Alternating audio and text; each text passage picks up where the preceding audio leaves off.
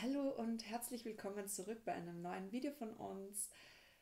Heute der letzte Teil unserer Jackenverarbeitung, Teil 4. Wir haben schon drei Teile hochgeladen, einmal Vorderteil, Rückenteil, Ärmel und heute ist das Finale angesagt, wobei ich gleich vorab ankündige, ich habe euch nicht alle Schritte ganz perfekt hier aufgenommen für diese Jacke, dann das Futter einsetzen ist, finde ich, ähm, super aufwendig zu erklären, beziehungsweise musste ich da selbst ein bisschen tricksen, weil ich meinen Schnitt verschmissen habe. Also fehlt hier der Schritt mit dem Futter. Aber ihr müsst ja auch nicht jede Jacke füttern, alles fertigstellen und zeigen euch dann natürlich auch das fertige Endergebnis. Die Kragenteile bei meinem Schnitt sind zweiteilig, das heißt es gibt ein Kragenteil und einen Steg.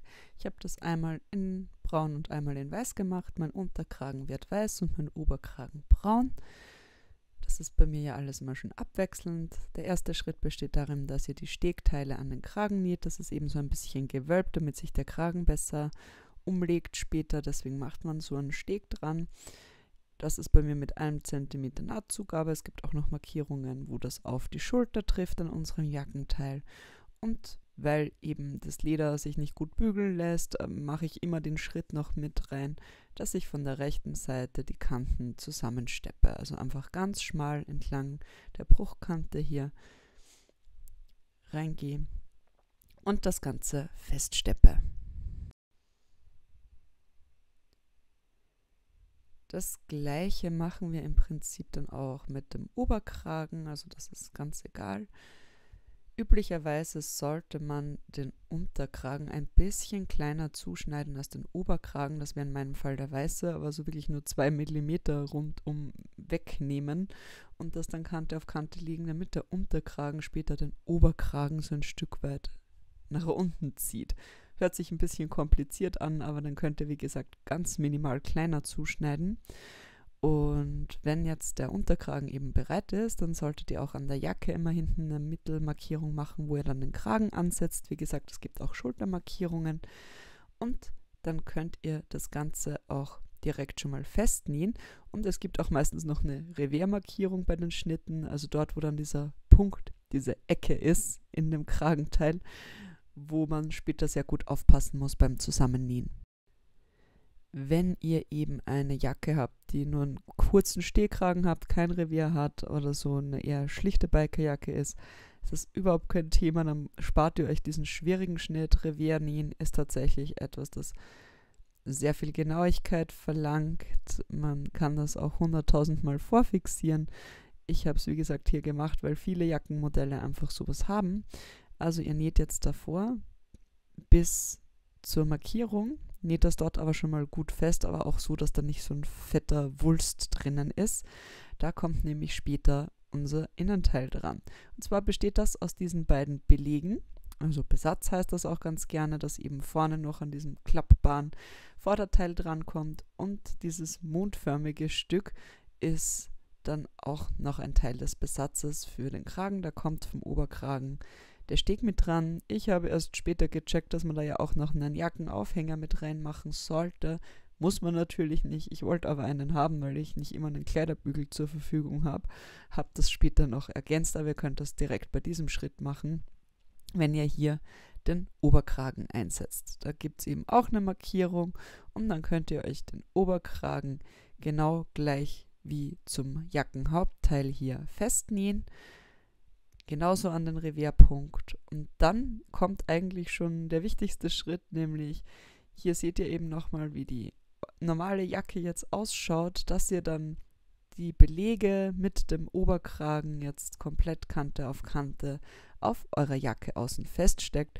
Und dann wird es spannend beim Feststeppen, denn da müsst ihr jetzt wirklich richtig gut Acht geben, wenn ihr so wie ich diese Reverkante habt. Also ihr seht da vorne, das ist so dieses wie ausgezwickte Kantel drinnen ist. Und da gibt es viele Tricks auch, wie man das machen kann. Ihr könnt es mit einer Knopfseite genau diesen Punkt, wo alle Teile zusammentreffen, ähm, festnähen schon mal, damit da nichts verrutschen kann. Wichtig beim Nähen auch immer die Nahtzugaben hin und her zu klappen, aber das zeige ich euch gleich an der Maschine.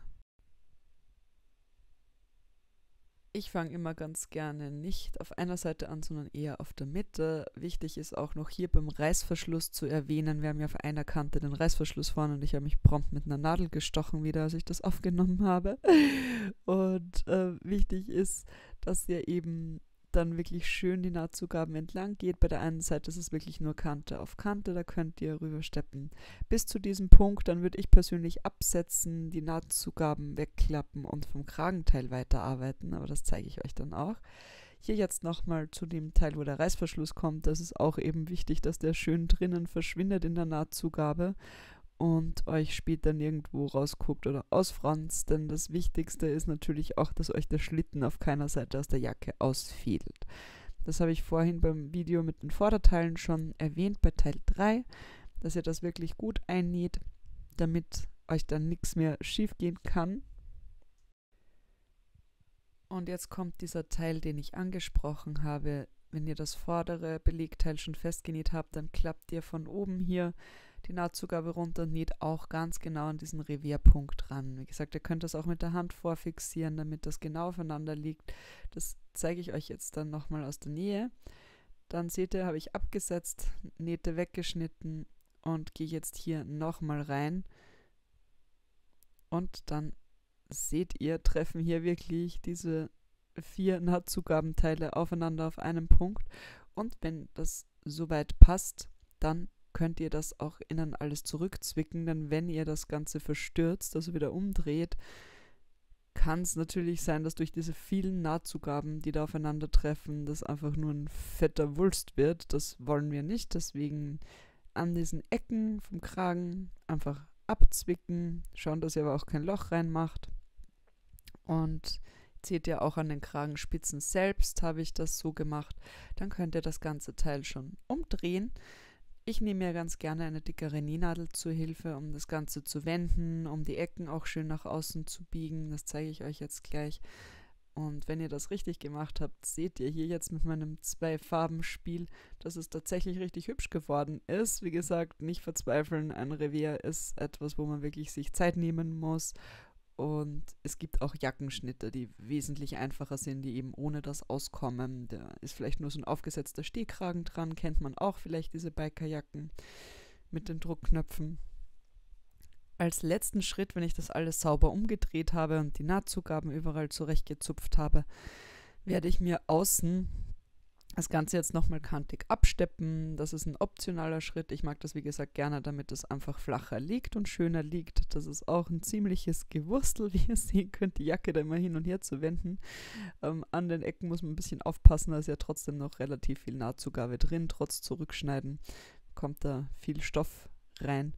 Und wie gesagt, ich mache diesen Schritt, weil mein Leder sich sonst nicht irgendwie schön flach drücken lässt und ich das nicht ewig irgendwo einquetschen möchte sondern einfach das Ganze wirklich schön flach steppen.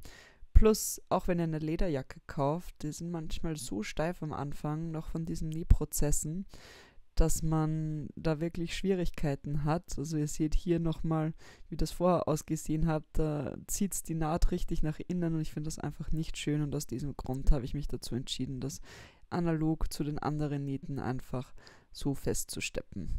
Also hier seht ihr jetzt nochmal, was ich meine, weil das einfach so nicht sehr hübsch ist, meiner Meinung nach. Gibt aber auch andere Möglichkeiten, das abzuschließen. Und deswegen habe ich es eben einfach in die Maschine geschmissen und das Ganze einmal rundum so genäht.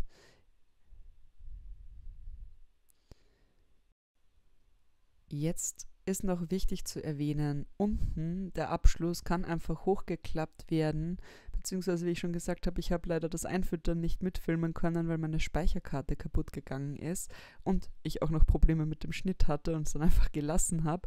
Aber ich habe in meiner Jacke dann einfach eine, so einen Bund unten dran genäht, wie bei einer Hose. Also ihr könnt euch das dann überlegen, da messt ihr einfach nur die Länge ab.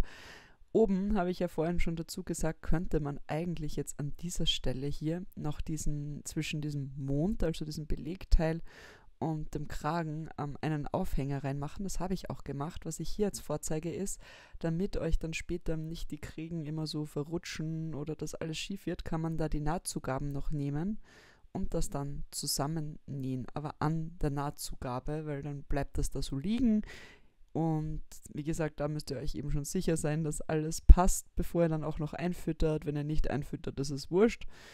Könnt das auch so lassen, aber wie gesagt, das hilft schon, wenn ihr das an manchen Stellen nochmal fixiert. Hier seht ihr, habe ich jetzt so eine Schlaufe vorbereitet, einen Jackenaufhänger, den biege ich mir so. Ich habe mir dann einfach nochmal zwei Stellen aufgemacht an der Naht, das reingeschoben. Ihr könnt diesen Schritt jetzt einfach auch schon direkt beim Belegarbeiten machen. Dann eben noch die Nahtzugaben fixieren, dass die Teile alle schön liegen bleiben und die Längenverarbeitung ist dann wirklich Geschmackssache. Wie gesagt, bei mir ist es ein Bunt geworden. Ich habe auch noch Druckknöpfe ergänzt am Kragen, also im Revierkragen, damit man die festpinnen kann an der Jacke selbst.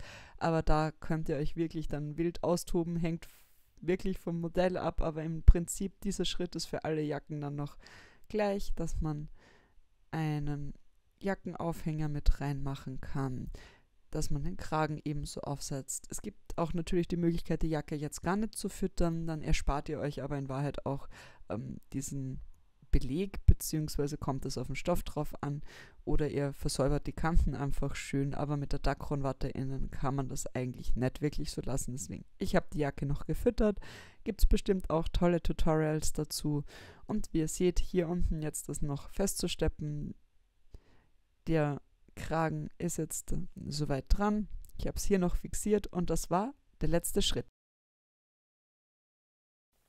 Das ist nun das offizielle Ende und der letzte Teil unseres Tutorials. Wie ihr sehen könnt, ich habe die fertige Jacke an, so wie auch an den anderen Videoenden.